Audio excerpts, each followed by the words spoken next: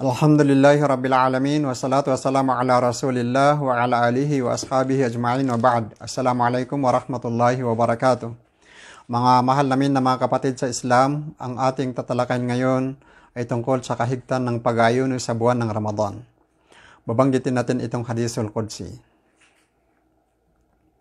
An Abi Hurairah radhiyallahu anhu qal, qala Rasulullah sallallahu alaihi wasallam, qala Allah azza wa jalla kullu amalu ibni adam lah illa siyam fa innahu li wa ana ajzi bi muttafaqun alay ang ibig sabihin po mga kapatid mula sa ulat ni Abu Huraira kalugdan nawa siya ng Allah Sinabi ng sugo ng Allah sa makanyang nawa ang pagpapala at kapayapaan.